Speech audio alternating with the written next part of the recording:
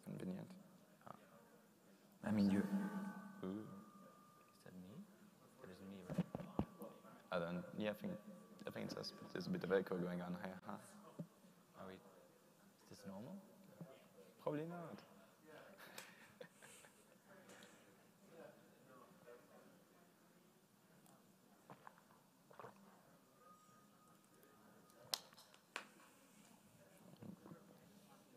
Need to stay as far away from the as far away from the speakers as we can to avoid the echo. Uh, yeah. It's a bunch of feedback.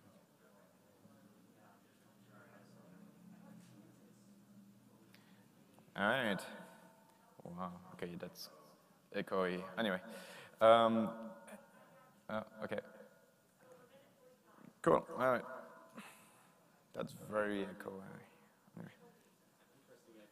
Yeah. Yeah. Is this going to be this way during the whole talk? Yeah. Uh, I don't know. Can you turn off one of the mics? We can try that. Try turn off yours. Testing, testing. Yeah, that's well. Then there's nothing. So.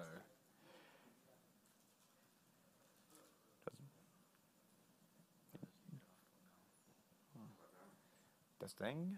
Nope. There's no mic now. I think. No. Yeah. Hello. No, that's nothing. Oh, there's a tiny bit. Yeah, I heard the mic.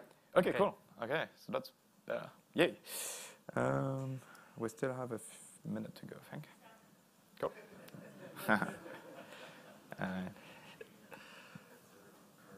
yeah, I just have to see if we need to like, turn off, turn back on, or what, or if they just fixed it. We'll see. I, I can just. Uh, Is yours on, or is it, is it It's on. No. Okay. Okay, I think they fixed it. Cool. Um, Should I stand behind?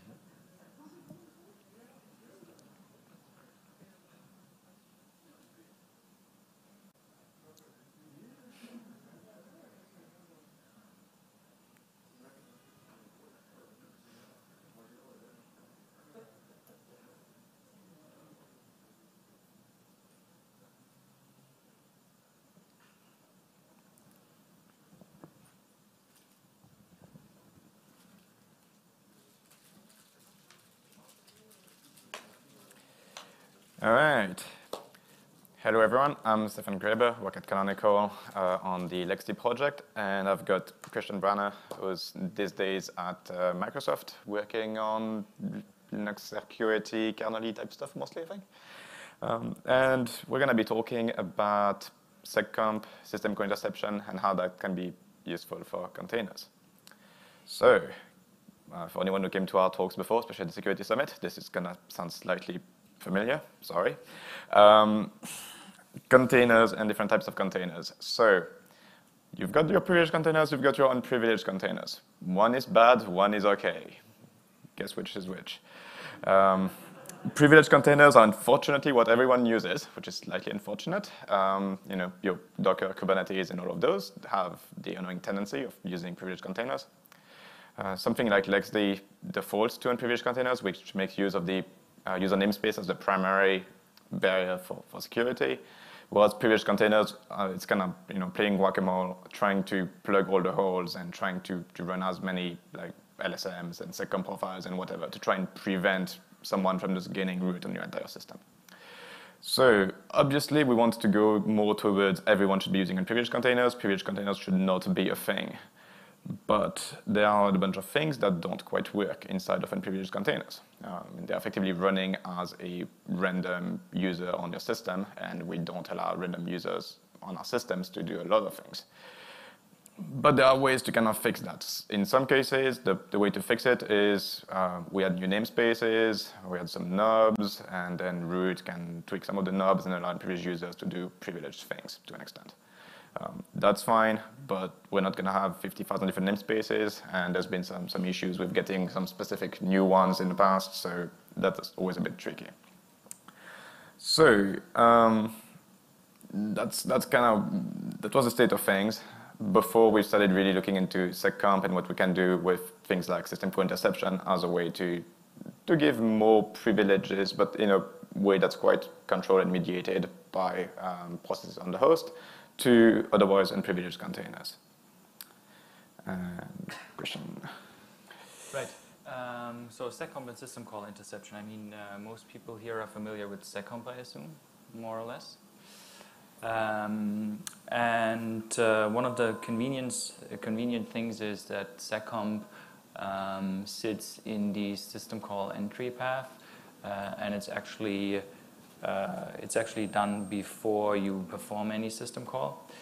And uh, so you're fairly early on. Uh, you have your seccomp. Uh, you you can run your seccomp program.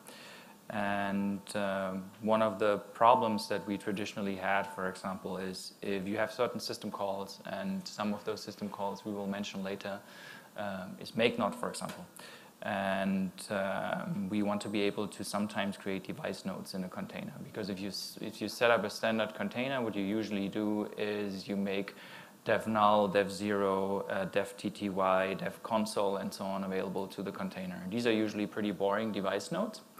Um, but the kernel just flat out allows the creation of device nodes in unprivileged containers. So the kernel will require that you are capable within the initial user namespace, so on the host.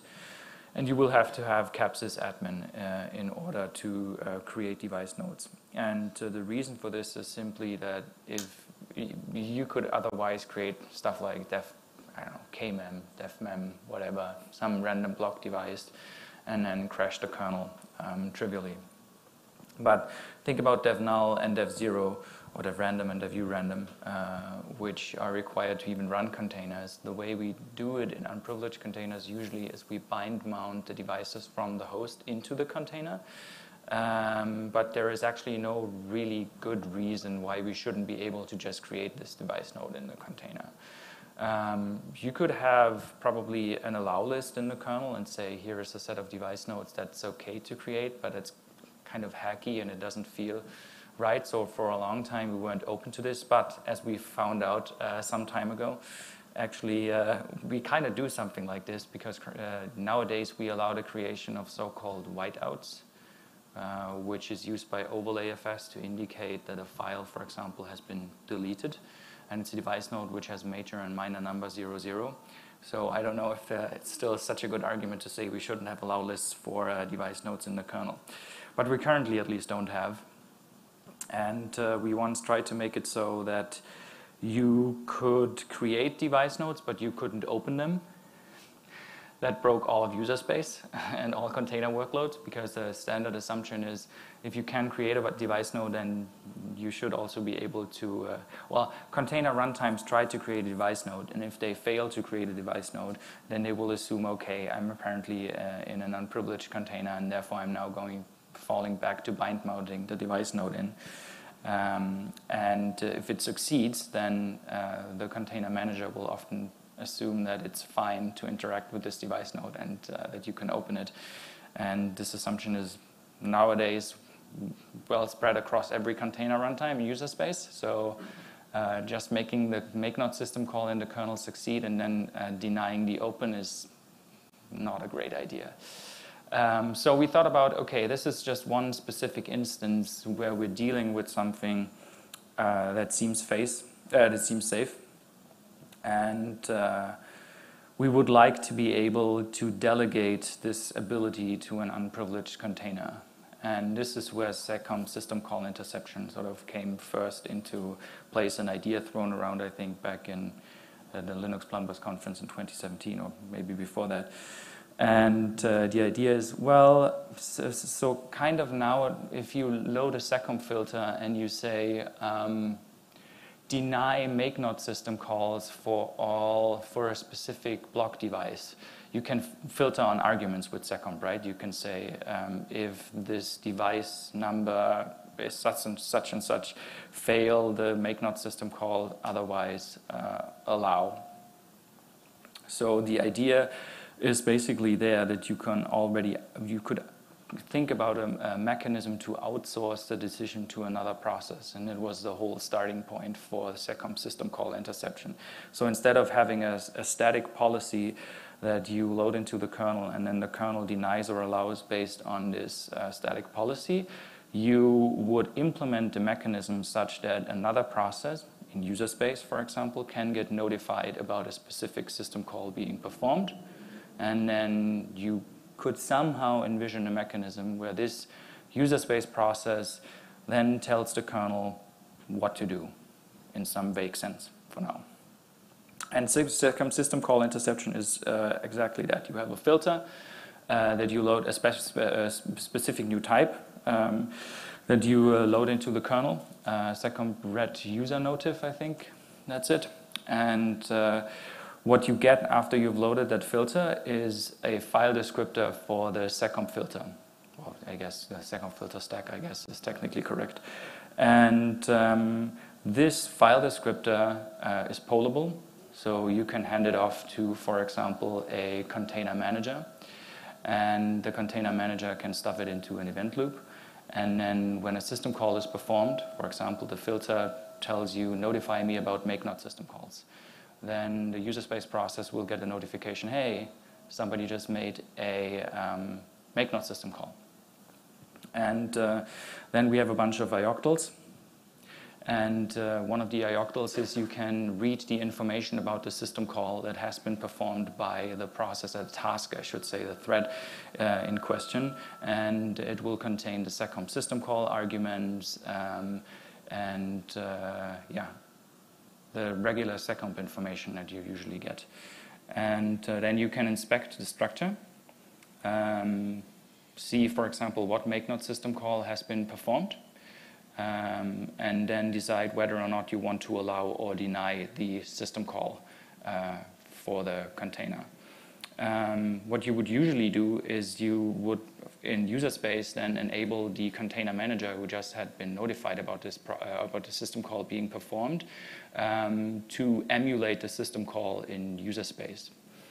Um, we, you can tell the kernel. Basically, we can't. Uh, the kernel is not in the picture of actually what to do after it has been notified. The kernel, you can just tell the kernel, um, continue the system call. We will get uh, to this in a second. Continue the system call, deny the system call, report uh, an error code to user space, a specific one, or report success. Um, but nothing more happens. Anything that you want to do, you will need to do, do, in user space. So the kernel only gives you a notification, a system call has been performed. You can inspect the system call arguments. A privileged process in user space can then go on, I'm now going to decide what to do with the system call. And then, for example, say, oh, this is a mknod system call. I'm now going to emulate it uh, in user space because I can vouch that this is uh, safe to do. And then after I have done, uh, finished emulating the system call and created a device node for the container, made it available to the container, then I'm going to tell the kernel, okay, continue. Or if I fail to emulate it, tell the kernel, report back an error code. But uh, safety concerns.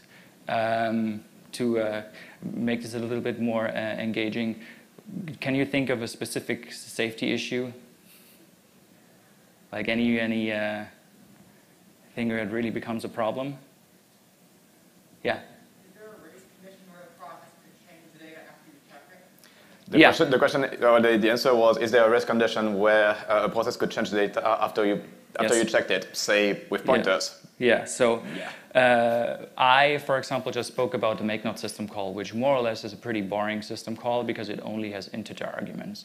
So which means the information that you get back from the kernel in the struct seccomp data, I think it is, um, you can just directly read this and nothing will happen to this, right?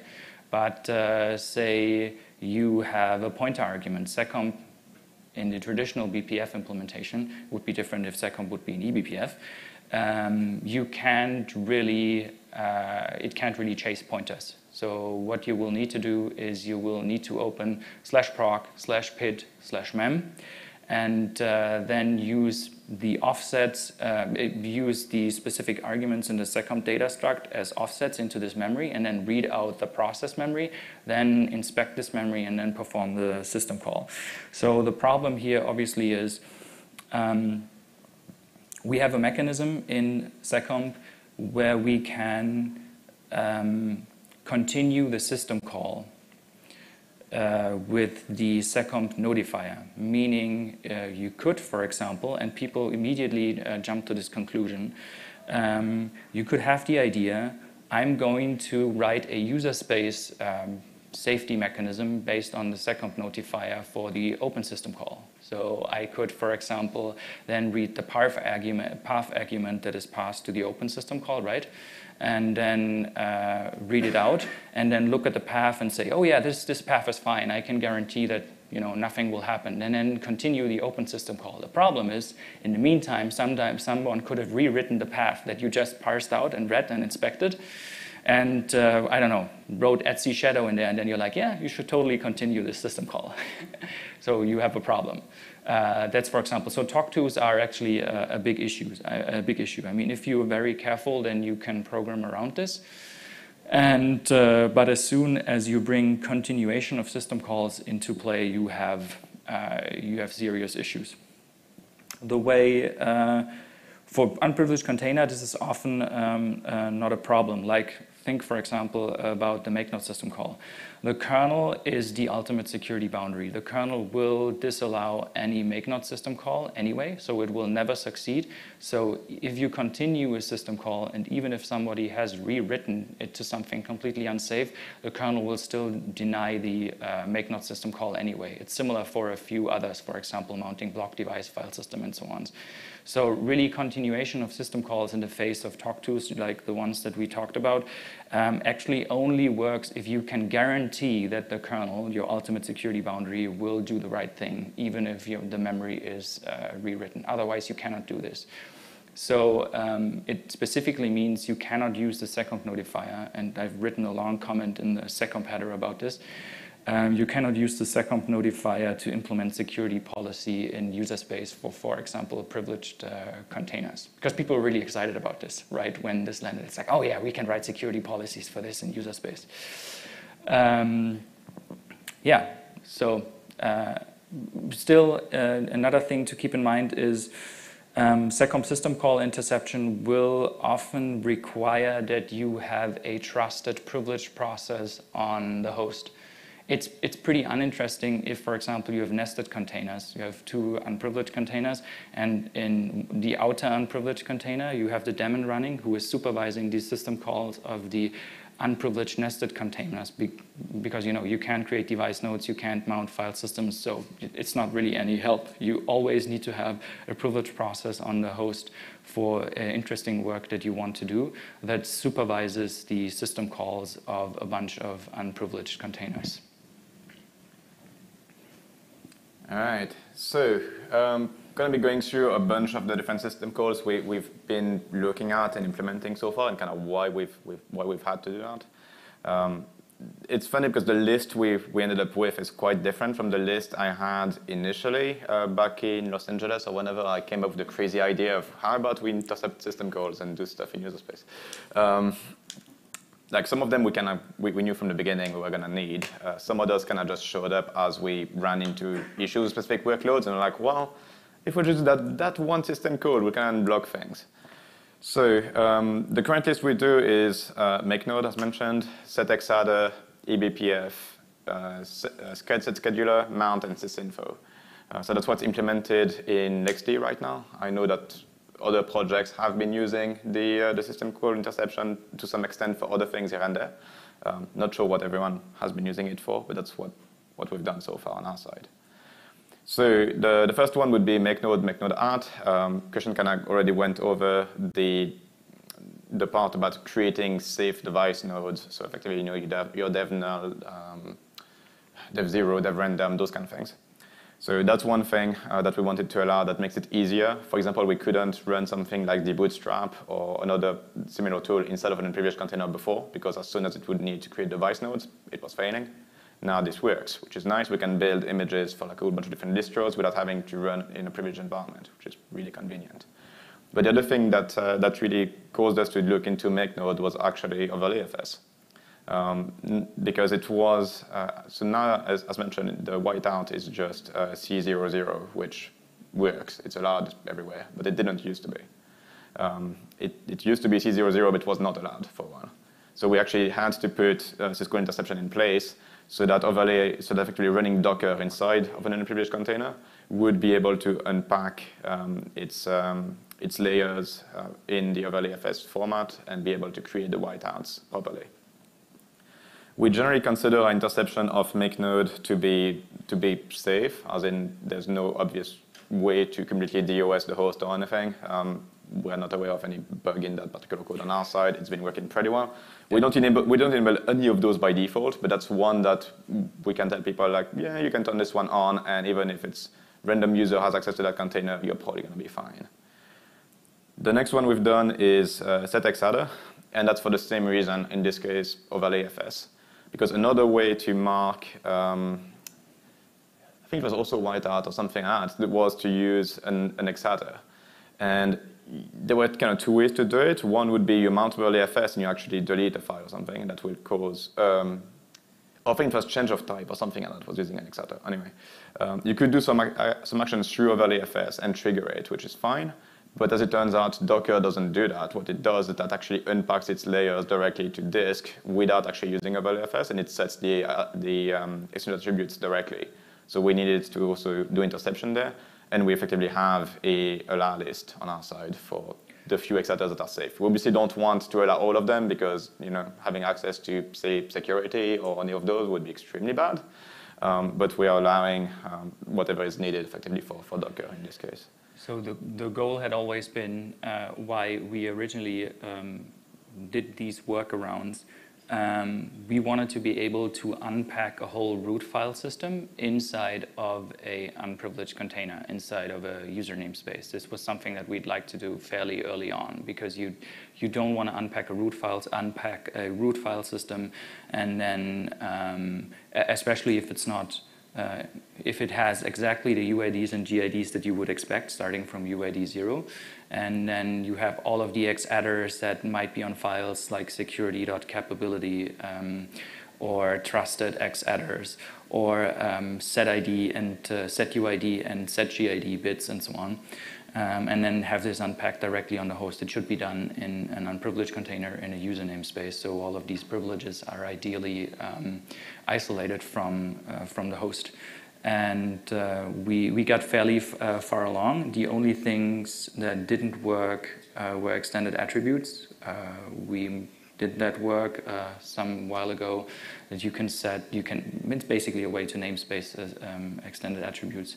And um, the only thing was whiteouts, uh, whiteout creation and some specific statics adders that we needed to be able to set. And on newer kernels, I think none of this should be needed anymore. This is uh, basically just for kernels where this isn't uh, available. And next one is the mount system call. Oh, yeah. a fun one.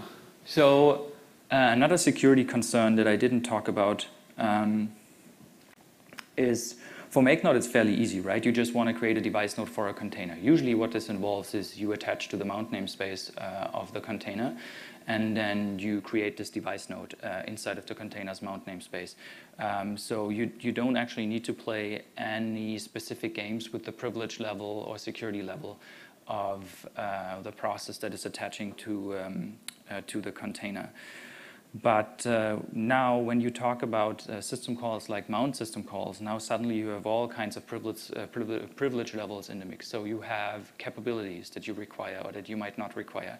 You might have uh, LSM profiles. You might have um, uh, ad additional file system UIDs that you need to set. Um, in general, change UIDs and GIDs. You might need to attach to specific namespaces such as a mount namespace, user namespace, or the PID namespace, depending on what you need to do. So one additional security uh, concern that you need to keep in mind is you need to find the exact balance um, of the privileges that you need to retain that you had on the host and assuming the privilege level of the target process inside of the container for which you emulate the system call, right? Because you, you basically, you're emulating system call for another process, so you need to assume uh, his personality, their personality uh, to some extent. Um, while also retaining the necessary privileges to um, perform the operation. And a mount system call is, uh, for example, a prime example, uh, is a good example for this. Uh, you need to attach to the mount namespace. Sometimes you also need to attach to the user namespace. If you, for example, mount a fuse file system, and that becomes really tricky to get uh, to get right. So this is really um, low-level user space programming that gets in touch with a lot of um, kernel privilege mechanisms, and uh, that's difficult to get right. Um, so uh, this is all a nice mechanism, but these are always things that you uh, need to keep in mind. So uh, why intercept a mount system call? Well, um, oftentimes you will have dedicated, oftentimes, um, you might have dedicated file systems uh, to the container that have been originally provided by the host, such a de dedicated ext4 file system or XFS file system, uh, for which the host or the container manager can vouch this is safe to mount. Because you cannot let a container mount arbitrary file systems because you could have a malicious file system image. So usually mounting block-based file system at least, uh, so anything that is not a, a tmpfs, more or less, or sysfs or procfs, um, requires privileges uh, on the host. But as I said, in some scenarios, there is a well-known path, for example, on the host there, or disk uh, that you can mount inside of the container. You could tell the container manager uh, via the systems, uh, uh system call interception mechanism um, get noti gets notified about the mount system call. It inspects the arguments of the mount system call and then it will perform the mount uh, for the process inside of the container. And there you also uh, can uh, see the original problem that, uh, was it, who also correctly pointed this out earlier. Um, the mount system call is full of pointer arguments. I mean, there's basically just a flags argument, and the flags argument aren't uh, really that interesting. It, the additional problem is the mount system call is a terrible multiplexer.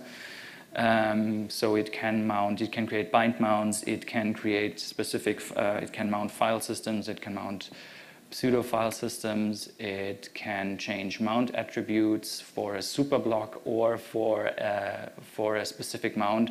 So there is all kinds of uh, layers that you need to be, um, that you need to be aware of here.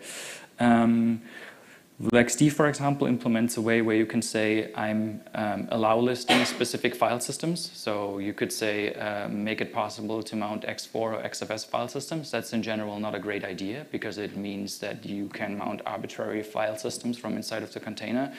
And uh, as people might know, it's possible to create an image as an unprivileged user and create a file system uh, superblock on it, and then, for example, corrupt the superblock in some tricky way if you have read the kernel source, co source code and you have figured out there is some bug in the ext4 file system, then system call interception, LXD or, or some other manager, uh, container manager would diligently mount that file system for you, and here we have an exploit.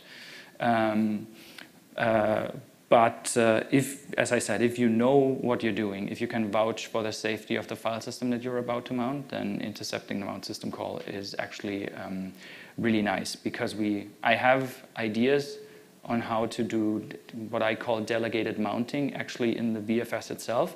Um, but until we have that, this is actually something that we might be able to do. All right. Yeah, and, and we'll show it, I'll show it a bit later on for this one, but LXD also lets you do pretty interesting things, uh, like automatically setting up a, a, ID shifting layer on top of an intercepted mount. But the coolest thing we've got is actually intercepting mount and then not mounting the actual file system, but calling it the fuse equivalent, uh, which then actually makes it pretty safe because you're not actually hitting the file system in the kernel. It's just being redirected straight to user space inside of the container. All right. And uh, this one we can go over quickly. We have, um, we have I, have implemented a um, POC for uh, BPF system call interception um, um, some time ago. And this leverages quite a few work that we did over the years in the kernel. Um, because something that we haven't talked about so far is um, I mentioned about intercepting the open system call for another process. Well, the problem obviously is that you need to share the file descriptor table with the process in question. Um, in order to do this because uh, otherwise the file descriptor won't be valid in the target process. So um, a while ago I did work uh, which is called PIDFD, which introduces uh, file descriptors for processes in Linux.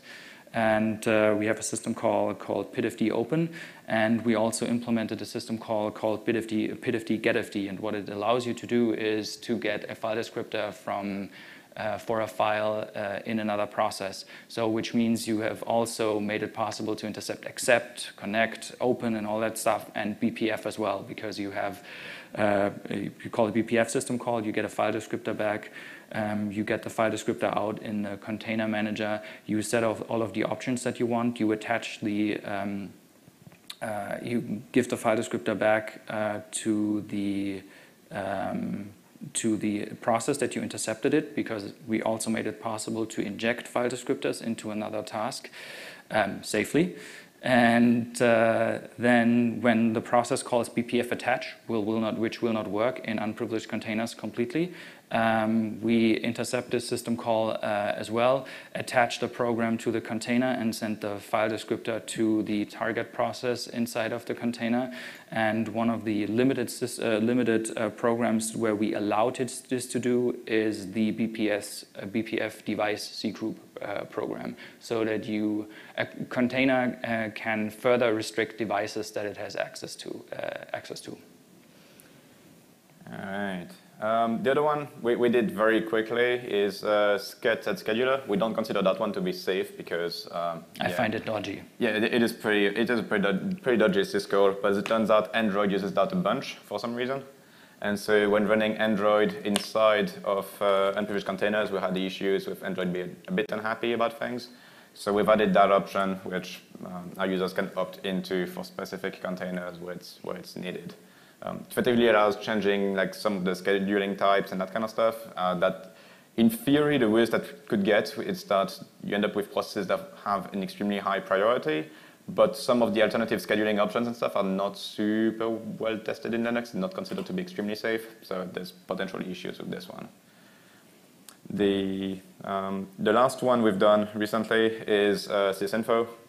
And that's effectively, we've, for LXD, we've had that thing called LXCFS for a while, which lets us look at the C group limits and expose that inside the container on things like meminfo, CPU info, those kind of things, to show the actual limits you have instead of the, the host-wide resources.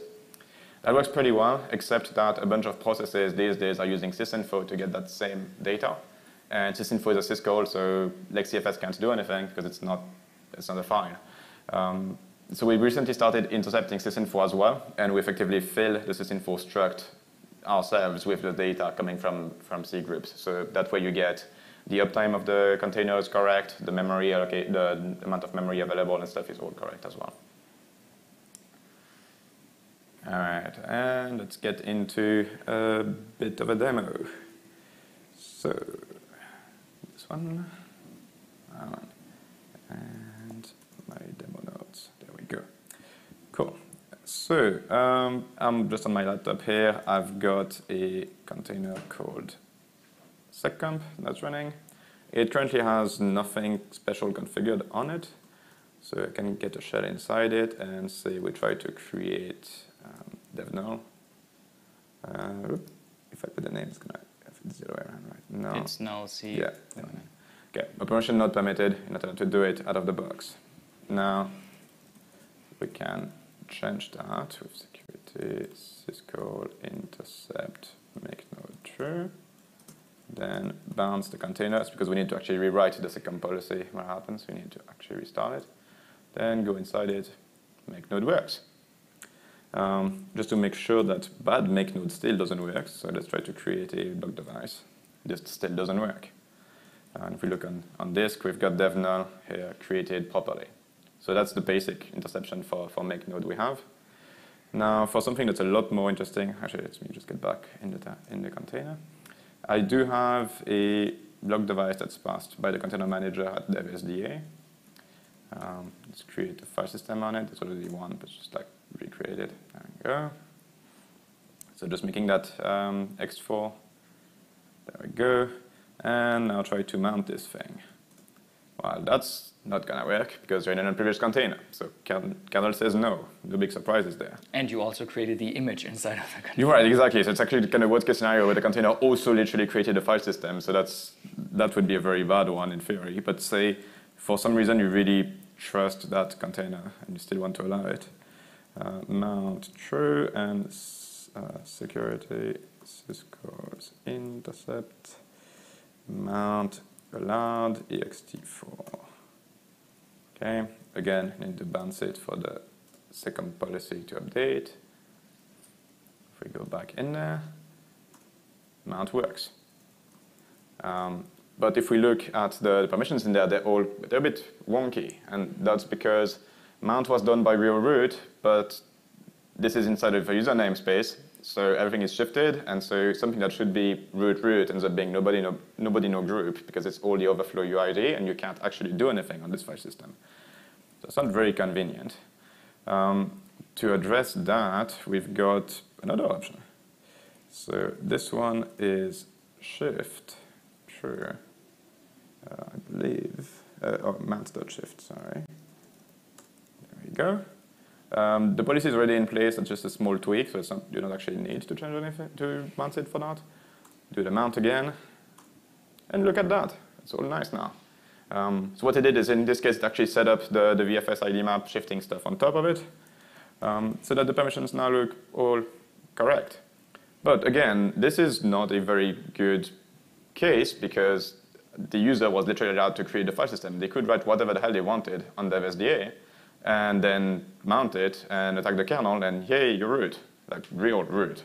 Uh, or you just crash the system, which is not great either way. Um, so that's where we've got a bit of magic. Uh, I did install Fuse2FS inside that container before, which is a Fuse file system um, for ext 2, 3, and 4. And now let's go and clear some config. So I'm going to be undoing the, the config for the shift. I'm going to be undoing the config for the allowed file system. So that means I just have the mount interception enabled with nothing currently configured.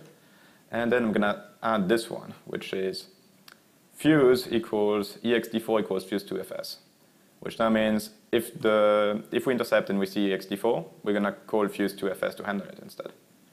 So go in there and try mounting it again. Okay, that worked. Permissions all look good, everything is fine. But now if we look at proc mounts and you look at what the file system is, yeah, this changed a bit. So now it's Fuse handling it. And this one we actually consider to be generally safe to actually enable for, for most interested users because it's running a process as themselves inside their own container. It's exactly the same thing as if they ran Fuse directly, but it works on all their processes, even those that have no idea that they should be calling fuse. Um, something that just normally calls the mount syscall will just work. Uh, so that one is pretty, pretty nice. The other thing I was going to show you is the sysinfo bit. So I'm going to set a limit on the instance. Um, limit memory, I'm going to set that to 256 megs. Go inside the instance, look at the free output, so that's 256. That's great. That works because of um, doing the, uh, the file overlay. So we look at proc mounts. We see that meminfo is overlaid by LXCFS already. That's why this works with free. But if we run, I've got a small binary that just does the sysinfo syscall.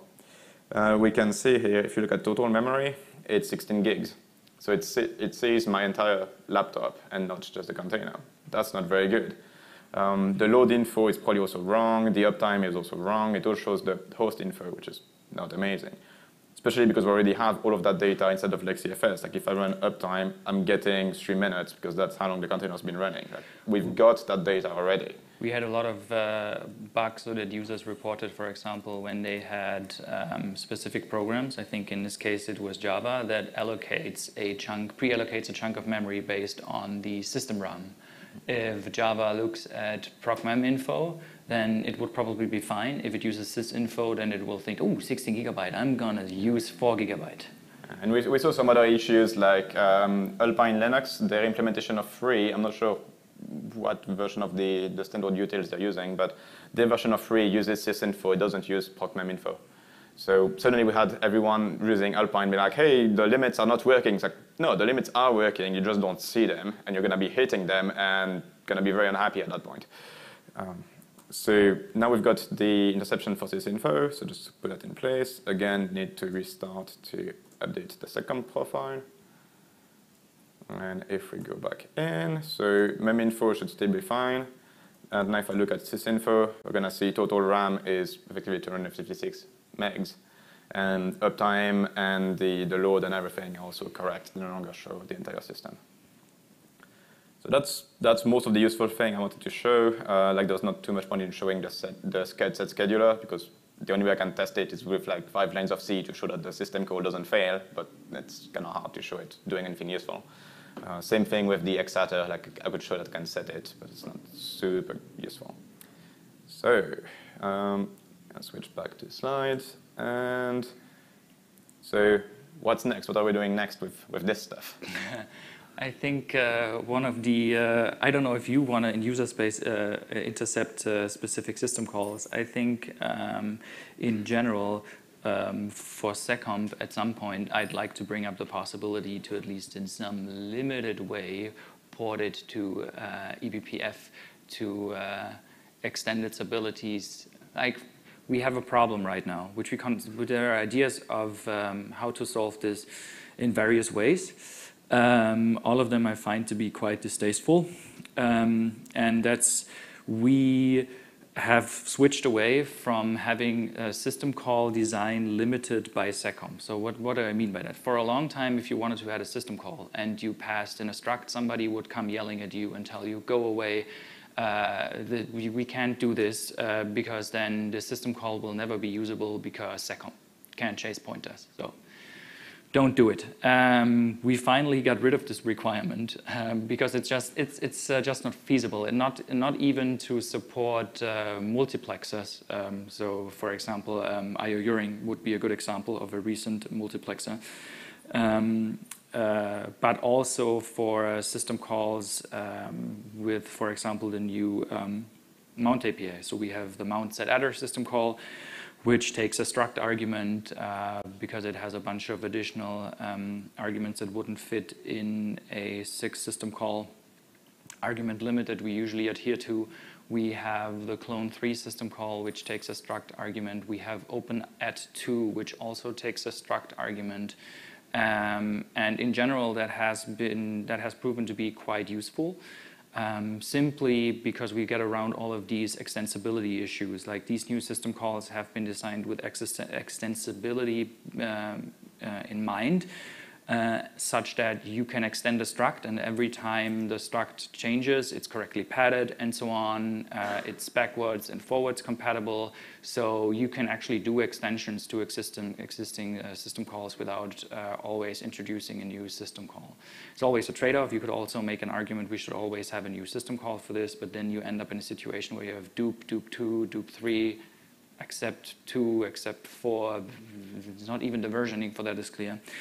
Um, so I think in general this is a step in the right direction. But obviously now we have a problem. We've seen it with uh, glibc, um, for example, that tried to switch to the clone 3 system call because it has a bunch of, uh, it has overall, I think, has a nicer API um, which user space can use, and they would like to switch to it. But um, as soon as you run uh, glibc inside of a container and the container has a SecComp system call filter, then in general they will block, they will often block or may block the clone 3 system call outright because they cannot filter um, if you have a use case where you say, I don't want my containers to be able to create additional containers, so I don't want uh, to be able to pass any clone flags uh, like clone new user or clone new pid namespace or whatever, um, then you can filter on the traditional old clone system call because it has a flags argument, which is filterable by uh, SecComp.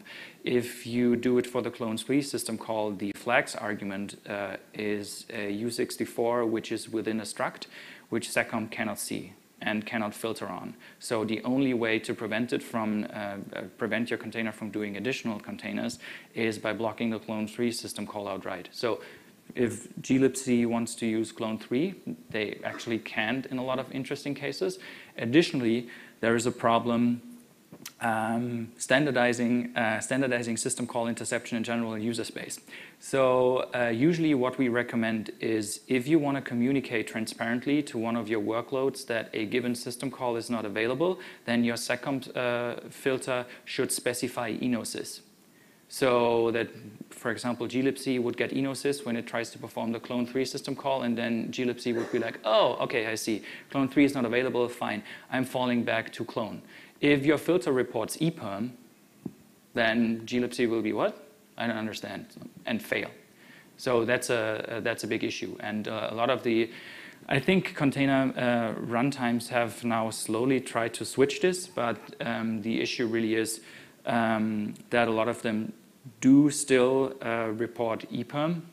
Um, and uh, in general, it would be nicer if we could write seccomp filters where we could specify um, where it could at least uh, filter first level pointers. You cannot do this with the traditional old school BPF language, but you could for sure do it with uh, eBPF. The question just becomes uh, uh, whether or not we feel fine with uh, eBPFing uh, seccomp. Yeah, I think on, we I was going to like on, on, on, on, on our side, as far as what you're looking at, maybe doing um, moving forward there, like as far as other syscalls, we've got some interest in intercepting for, for LXD. We've got, we've had interest on and off for one that's going to scare the hell out of a lot, of people, uh, which is init module and uh, finit module. So, so that containers can effectively load kernel modules. We would not actually let them load the kernel module. What we would let them do is pass in the kernel module they would like to load. We would pass the kernel module, to figure out what the hell it is, and then once you know what it is, compare it to a list of kernel modules where are containers to, to trigger loading, and then load the host version of it, uh, and not the one that was fed by the container. One of the reasons for that is things like firewalling, uh, where you might need to load uh, some netfilter plugins and that kind of stuff. And right now, the way we do it is that the container config can list a number of kernel modules that we will load on container startup, but it would be nicer if we could not do that and do it on demand as the container actually needs it. Um, so that's one that's kind of interesting. It will also make for pretty interesting demos, I think. Um, but it's a bit scary. And the other thing that I was, what we always said we can do with system call interception, but we've not done it yet, is it actually makes it, so seccomp is interesting because it's at the syscall entry point before we've actually gone through the syscall table. So you can actually implement new system calls Yeah. on a system entirely in user space. Because you can totally define a new, like intercept a new syscall number that does not exist in, in seccomp, forward it to user space, have a C implementation of what you want the system call to do, prototype, make sure that everything works, user space is going to function and everything. Um, and if that all works, then okay, sure, now you can submit it as actual kernel code. So that's pretty interesting. I've not seen anyone actually do that yet, uh, but that's something we could do. And with that, um, kind of out of time, but questions. And I think it's also break time, so if you do have any, any questions, then um, come see us. There's a question over there we can try and take quickly. Did you mention the new syscall PIDFDF maybe to use to get things for the interceptor class to check? I know there's an older approach that you P traced it and sent that to every unit to the main socket. So is the new link just for commutes because that was hard, or is there a reason that wouldn't work? Okay, so just to repeat the, repeat the question, it's around the, the new uh, pidfd_getfd interface uh, and saying that like, in the past we could do that using ptrace and Yep. getting the FD and then sending it across and you know what's better with this approach. I can think of one, which is you might be run, the task might be running under GDB or strace, at which point you cannot ptrace something that's already being ptraced. So that would actually prevent you from, from doing that. Like a lot of the syscall interception stuff we're doing with seccomp, you could in theory do with ptrace. It would be slower, and it would prevent you from running anything else that uses ptrace. You also don't need to have, probably, for this you probably also would have to have CAP_SYS_PTRACE, right? And in this case, you only need to be able to ptrace the uh, process in question that you want to get DFD from, which is a, a less strict requirement. So you need less, it requires less privileges, basically, if I remember this correctly. I should probably remember the code that I've written, but um, yeah.